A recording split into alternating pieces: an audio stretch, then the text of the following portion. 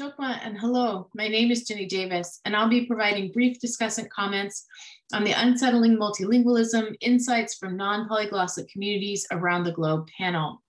I would like to thank the panel organizers for the invitation to read and be in conversation with these great papers and presentations. I'm excited to see this topic given such robust attention and to see the historical, political, and social context around four continents discussed.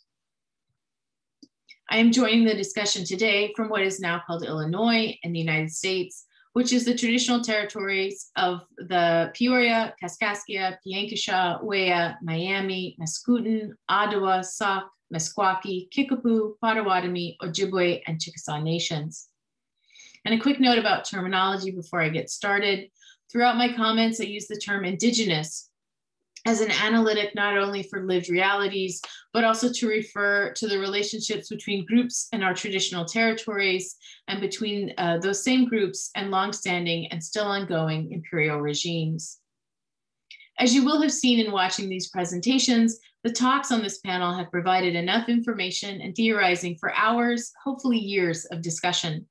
Today, however, I have only 10 minutes. As such, I will try to keep my comments to some of the larger themes and interventions I see across the panel as a whole. And hopefully we'll be able to get into some of the details in the question and answer section.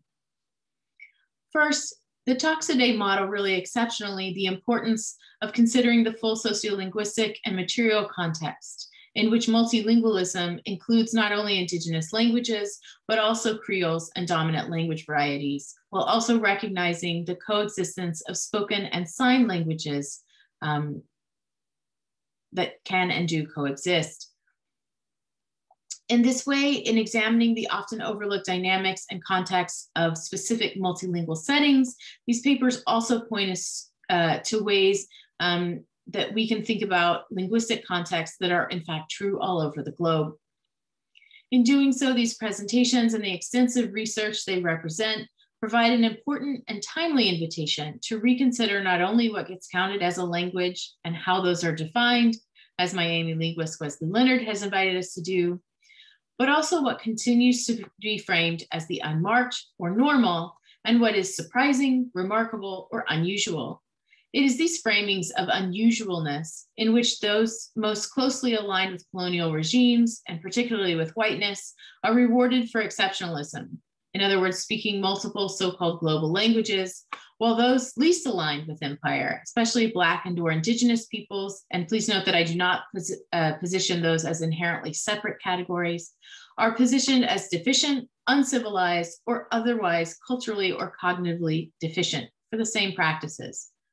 The authors definitely show how non-polyglossic multilingualism requires a different understanding of language than recent theorizations of linguistic superdiversity, which in positing multilingualism as a new phenomenon emerging out of globalization, inadvertently, we hope, uh, present multilingualism as the exception and monolingualism or bilingualism as default, especially in historical context.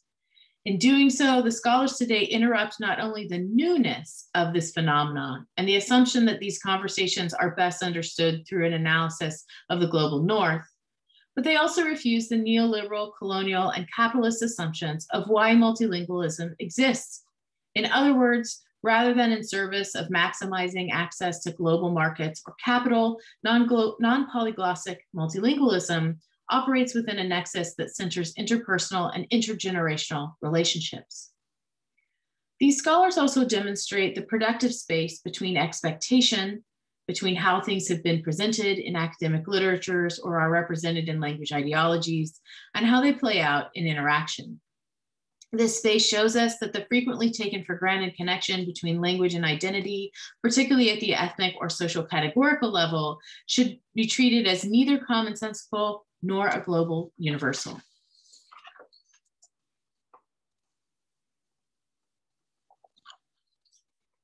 And these spaces between expectation and what is observed um, align closely with what Comanche linguist and anthropologist Barbara Meek calls sociolinguistic disjunctures that show us the contextual factors of when, how, and why multilingualism occurs, be they differences between age and interpersonal closeness, the relationship between matrilineal and patrilineal linguistic inheritance or exogamous marriage practices that are key to fully understanding any linguistic practice, multilingual or otherwise. And finally, in the introduction, Vaughan and Singer note that the small scale multilingualism discussed throughout papers today exists often in the peripheries of empire. And several of the presentations demonstrated the role of colonialism and empire in shaping those multilingual practices, from impacting movement of indigenous peoples to the introduction and enforcement of colonial languages. This seems a critical point and one which invites us to take seriously the organizers' invitation to unsettle existing frameworks of multilingualism and language more broadly. Here I'm struck by the work of several people to demonstrate where multilingualism can be found in the historical archive. Empire historian Antoinette Burton's work, particularly her book, The Trouble with Empire, invites us to ask not just where might we locate these practices and communities in the historical archive, although this is deeply exciting work, but also what role these very practices of non-hierarchical linguistic multiplicity in fact shape the linguistic ideologies and practice of empire itself and its metropoles. For as she notes, the very character of imperial power was shaped by its challengers and by the trouble they made for its stewards. Empire arguably, arguably has no history outside of these struggles. And I would argue that um, uh, in, empirical linguistic studies have no history outside of those struggles either. In other words, perhaps one of the means of disrupting the narratives of Indigenous linguistic and cultural deficiency is to show how much the existence and persistence of small scale multilingualisms have shaped colonial attempts to render the world monolingual and polyglossic. In doing so, we should also be mindful that this work must draw on and speak back to multiple fields of study whose, broad, whose borders are murky already, not just those classified as linguistics or sociolinguistics and their close kin like linguistic anthropology, but also areas like history, indigenous and aboriginal studies, and so on. As Ruth Singer notes in her presentation, Small scale multilingualism is a regional system that extends beyond language itself, and these papers have shown that the questions raised in the study of non-polyglossic multilingualism requires a robust enthusiasm for multiple modes and fields of research. These papers have shown the value of studies of historical and linguistic records, surveys and interviews, ethnography, discourse analysis, and more often collected and analyzed through collaborations across teams of scholars and community theorists, and of course, the multilingual speakers themselves. In fact, scholars in this workshop have shown through careful attention to the geographic, historical, political, and linguistic specificity just how rich and diverse these dynamics are. That is in itself a refusal or turning upside down of the colonial urge to make things easily and neatly categorize, categ he's neatly put into categories. Let's say that. Um, as we continue this conversation, I am struck by how many things we might have to unsettle in our fields. How do we represent linguistic phenomena? What do maps of multilingualism look like? When our norms for visualizing language on territory assume discrete, neat boundaries between languages and between languages and territories? What does it look like when there are four to seven languages spoken in a given area and the differences between being a speaker or not may not be shared across, may not even be shared across an entire household. As a quick example, um, from the context of my own research and Native community, here are two maps.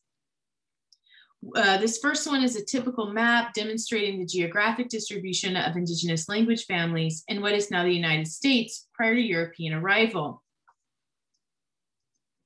The second is a much more recent rendering of tribal territories. The contrast between these two, in which the first suggests no overlap in communities or languages, while the second shows extensive overlap, a context in which we should expect various forms of multilingual practices. These two images demonstrate how pervasively Indigenous peoples and humanity in general has been framed as monolingual as a default, and how much we have to gain by centering Indigenous and non-polyglossic multilingualisms in our models of language and social life. And I deeply look forward to this conversation um, as we move forward. Chok Mashki, and thank you to the organizers again.